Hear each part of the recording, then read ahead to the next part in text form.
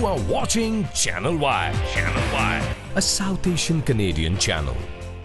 ਭਾਰਤ ਵਿੱਚ corona virus ਮਹਾਮਾਰੀ ਦਾ ਕਹਿਰ ਵੱਧਦਾ ਹੀ ਜਾ ਰਿਹਾ ਹੈ ਮਹਾਮਾਰੀ ਨਾਲ ਮਰਨ ਵਾਲਿਆਂ ਦਾ ਅੰਕੜਾ 1 ਲੱਖ ਦੇ ਪਾਰ ਪਹੁੰਚ ਗਿਆ ਹੈ ਕਰੋਨਾ ਵਾਇਰਸ ਦੇ ਮਾਮਲੇ ਵਿੱਚ ਭਾਰਤ ਦੁਨੀਆ ਭਰ 'ਚ ਦੂਜੇ ਨੰਬਰ ਤੇ ਬਣਿਆ ਹੋਇਆ ਭਾਰਤ 'ਚ ਇਸ ਸਮੇਂ ਕਰੋਨਾ ਮਹਾਮਾਰੀ ਨਾਲ ਪੀੜਤਾਂ ਦੀ ਗਿਣਤੀ 65 ਲੱਖ ਦੇ ਪਾਰ ਹੋ ਗਈ ਹੈ ਸਿਹਤ ਮੰਤਰਾਲੇ ਵੱਲੋਂ ਐਤਵਾਰ ਯਾਨੀ ਅੱਜ ਜਾਰੀ ਅੰਕੜਿਆਂ ਮੁਤਾਬਕ ਦੇਸ਼ ਵਿੱਚ ਕਰੋਨਾ ਵਾਇਰਸ ਦੀ ਗਿਣਤੀ 65,49,373 ਹੋ ਗਈ ਹੈ ਪਿਛਲੇ 24 ਘੰਟਿਆਂ ਦੌਰਾਨ ਕੋਰੋਨਾ ਦੇ 75829 ਨਵੇਂ ਕੇਸ ਸਾਹਮਣੇ ਆਏ ਨੇ ਜਦਕਿ ਪਿਛਲੇ 24 ਘੰਟਿਆਂ ਦੌਰਾਨ ਵਾਇਰਸ ਦੀ ਵਜ੍ਹਾ ਕਰਕੇ 940 ਲੋਕਾਂ ਦੀ ਮੌਤ ਹੋਈ ਹੈ ਜਿਸ ਨਾਲ ਮ੍ਰਿਤਕਾਂ ਦਾ ਅੰਕੜਾ ਵੱਧ ਕੇ 101782 ਹੋ ਗਿਆ ਉੱਥੇ ਹੀ ਅੰਕੜਿਆਂ ਮੁਤਾਬਕ ਸਿਹਤਯਾਬ ਹੋਣ ਵਾਲਿਆਂ ਦੀ ਗਿਣਤੀ 55,09,966 ਹੈ। ਦੇਸ਼ ਵਿੱਚ ਫਿਲਹਾਲ 9,37,625 ਕਰੋਨਾ ਮਰੀਜ਼ਾਂ ਦਾ ਇਲਾਜ ਚੱਲ ਰਿਹਾ ਜੋ ਕਿ ਕੁੱਲ ਕੇਸਾਂ ਦਾ 14.32% ਫੀਸਦੀ ਹੈ।